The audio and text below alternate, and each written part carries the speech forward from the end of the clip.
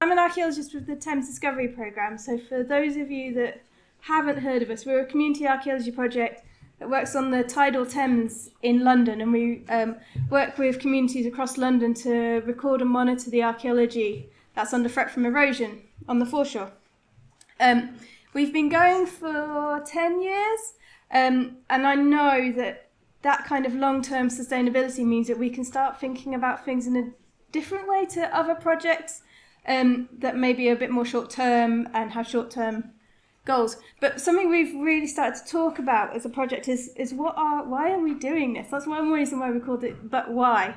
Um, and um, I'd started to hear about this thing called theory of change, and I wondered whether this might be something that we could use at Thames Discovery uh, to start thinking about what what we're doing and why we're doing it.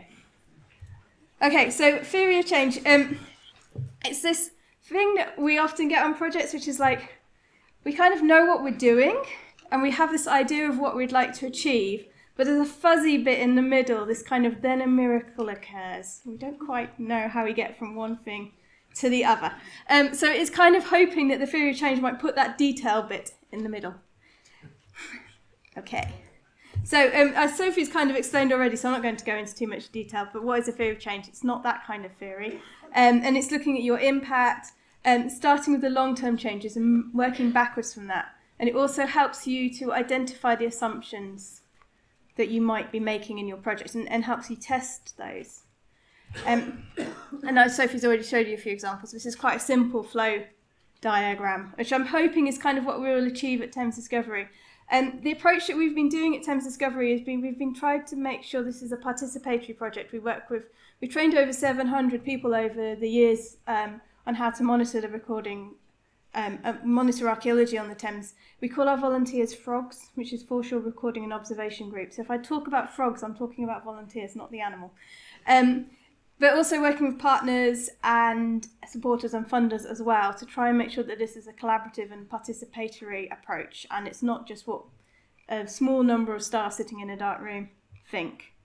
So um, yeah, so why does it help? Um, it helps explain what you do and why hopefully has some agreed goals. I sometimes say that Thames Discovery, because we've had been going for 10 years, we've got hundreds of volunteers, um, and lots of different bits to the project. I sometimes it's a bit like um, if you had that parable of the blind man and the elephant, where they're all touching a little bit of the elephant, and they all think they've got something different because no one can appreciate the big thing. Our volunteers are going off and doing independent research. Some of them are studying and doing dissertations on various aspects of the Thames.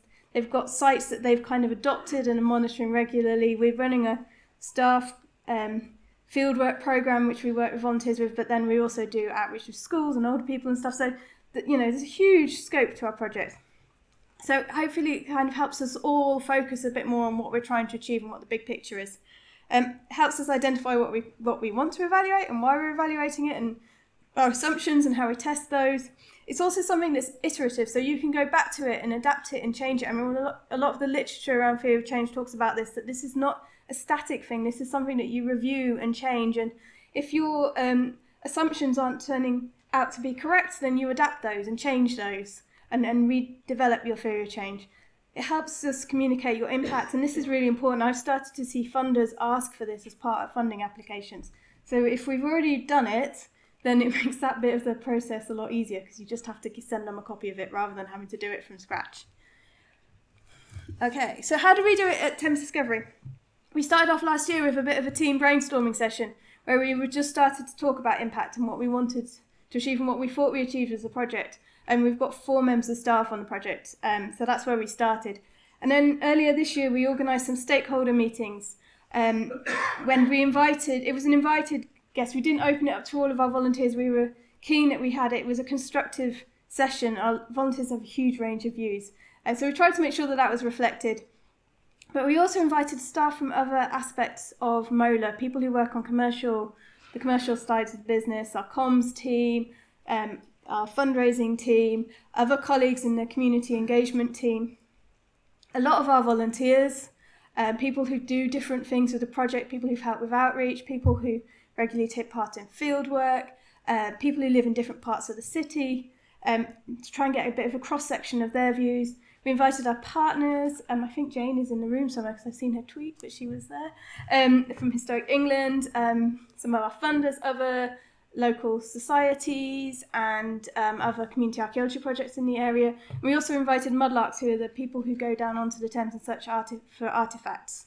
Um, a few of our volunteers are also mudlarks, and also some people who are mudlarks just in and of themselves. Uh, we're currently in the process of writing it up. When I submitted this session, I kind of hoped we might have it ready, but that hasn't happened because we've just started fieldwork, and that's much more exciting. Um, so, so yes, imminently, I hope we will have something that we can then share with our volunteers and get more feedback on, and, and our partners and funders, and get feedback on that, and then hopefully that will some hopefully form our kind of I'll say final, but it obviously isn't going to be final, but our kind of theory of change. Okay, so one of the activities that we did, which was really lovely, is we um, asked people how they thought the project might be remembered. And the way we did this was we said, um, imagine in 100 years' time they're going to erect a plaque um, to commemorate Thames Discovery Project and the work we did. What will that plaque say? And here's just a couple of examples that, that people in the room did. And there was some really lovely things that people wrote on those, and it really helped us understand what their idea of the long term impact of our project is. So, um, for instance, there's one here that says we, it says we trained 7,000 people, which we might do in 100 years' time, but we've trained 700. 3,000 sites recorded. um, since 2008, Foreshore Recording and Observation Group members recorded appearing and disappearing archaeology and monitored the effects of climate change. I love this next one. We won, we won, we won. This record of restoration of public freedom and to express interest and involvement in local heritage. Um, some of them were in pencil, so they're really hard to photograph.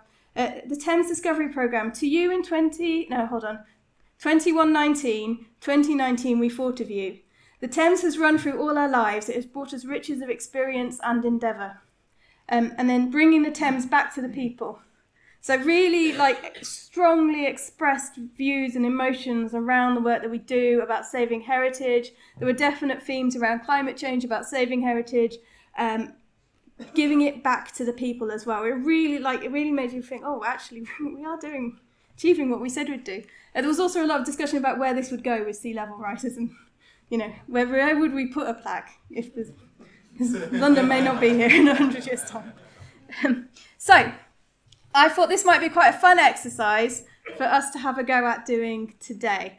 Um, so what I'd like you to do, on, either on a worksheet or on a blank piece of paper, is to think about a project you're involved with, or maybe your dream project, um, if you're not working on one at the moment, and, and think about in a hundred years' time, what would your plaque say?